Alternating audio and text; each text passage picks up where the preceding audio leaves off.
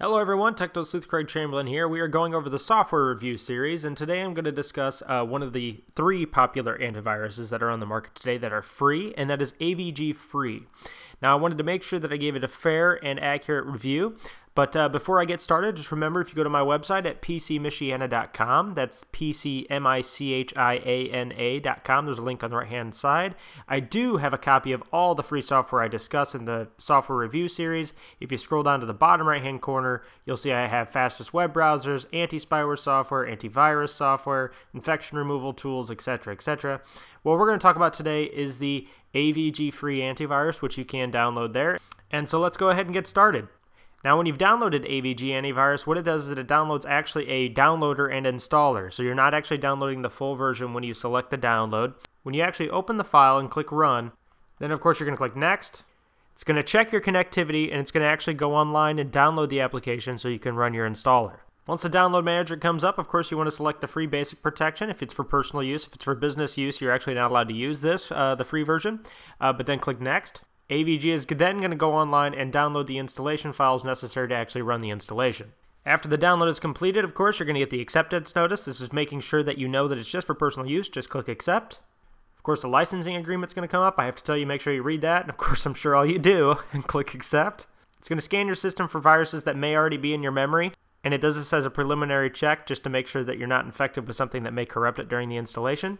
Now, if you already have an antivirus installed, it's going to yell at you and tell you that you should uninstall your previous antivirus before installing AVG Free, and that is true. Make sure you only have one antivirus installed at any given time. Click Next. Do standard installation. Uh, go ahead and pick whatever username you want. The license number is already a generated free one. Click Next. This asks you if you want to install the toolbar. I never like to install toolbars, so I uncheck it and click Next. Then it gives you a setup summary. Go ahead and click Finish and it'll start installing AVG free. Once you've installed AVG free, it's going to, of course, put a desktop icon on your desktop, and it's going to run your AVG first run wizard. Now we're just going to go ahead and click next past the first one. It asks you if you want to enable your daily scanning. I never enable the daily scanning, and it says I strongly recommend you do, and uh, I don't because it's annoying.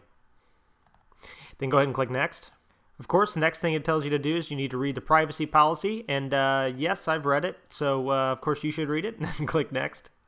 This is the automatic update wizard. Of course, you want to click Next to actually download the updates. I'm going to skip it for now, just for the uh, tutorial's sake. Next, you if you want to register, I usually don't register, just click Next. Then, of course, it says, Congratulations, your installation is complete, then click Finish. Of course, now after you've installed AVG Free, you can go ahead and open it by double clicking on the icon on your desktop, and that's going to bring up your AVG overview. This is going to tell you every service that's currently active in your uh, AVG antivirus. Of course, you have your antivirus, which scans for viruses, your anti-spyware, which scans for spyware, your email scanner, which is only for email applications that are on your computer, not your webmail. So like Outlook Express, Outlook, um, Thunderbird, those types of things. Your link scanner scans for malicious types of links. License, of course, is your free license. Your resident is your active real time scanner, and your update manager, which is your uh, automatic updater. Now, don't worry about ID protection unless you wanted to have that extra security feature. You can read more about it, of course, at AVG's website, but uh, the free version does not include ID protection. Now, with antiviruses, one thing that I've always been a fan of is simplicity is key. AVG Antivirus Free is by far, as far as I'm concerned, for the three free antiviruses, the most intuitively looking antivirus. Now, of course, the bottom of the page, they're going to try to notify you and tell you that you need to update your uh, Uh, antivirus to AVG full security. Usually I hide the notification, and that's pretty much how they try to sell their licenses to you. Um, of course, if you want to do updates, you just click Update Now, and that'll run the real-time updater. Click the computer scanner, and that'll let you do uh, real-time scanning. And it, it's just real simple and straightforward, and that's one of the reasons I'm a fan of the AVG product. Oh, AVG really does take the cake. I mean, it's really hands down one of the easiest antiviruses to work with. It's the one I recommend to people who uh, who aren't exactly computer savvy. So for in that respect, AVG definitely gets a five out of five. I mean, the interface is just it's just beautiful. That being said, I don't like to give a review without getting some other opinions, of course. I can't just say, hey, this has worked great for me, so it will work great for everyone. AVG Free, as far as other reviewers, uh, has quite a reputation to it. If uh, we go to cnetdownload.com and read the editor's rating, it gives it a 5 out of 5 stars, and the user rating is 4 out of 5 stars. Of course, I'm a little more lenient when it comes to free software on my reviews because, well, quite frankly, it's free. So uh, this is a pretty good factor for determining how users are, are happy with it. You got 19,346 votes, which uh, 4 out of 5 stars is pretty darn good for that many amount of people.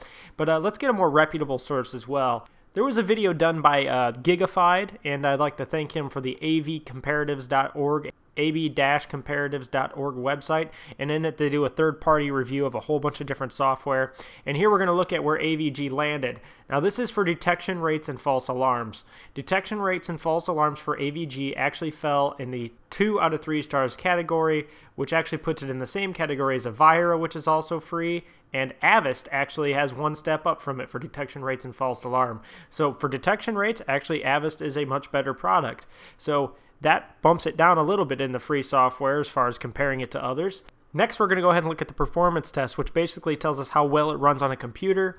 Of course, on the actual certification levels, we have AVG 2 out of 3 stars yet again, but notice that Vira and Avast actually have 3 out of 5 stars.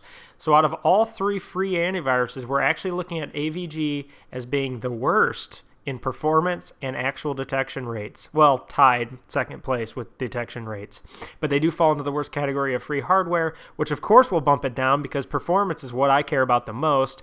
Although the interface is extremely nice, we're looking at poor performance and we're also looking at low detection rates compared to the other two free alternatives. So that unfortunately is going to put AVG free at 3.5 stars out of 5, which if it was actually software you'd have to pay for, then I would probably drop it to a 2.5 out of 5. That's all I have for you today. I hope you guys found this uh, review and rating both informative and educational. Don't forget to swing by my website at pcmichiana.com or by my channel. I have tons of videos and I'm going to try to put a video on here every day. As always, leave comments and ratings and don't forget to subscribe. I am going to be doing the reviews on the other free antiviruses as well in the future, and I will probably also be doing reviews on the commercial ones. Thanks again.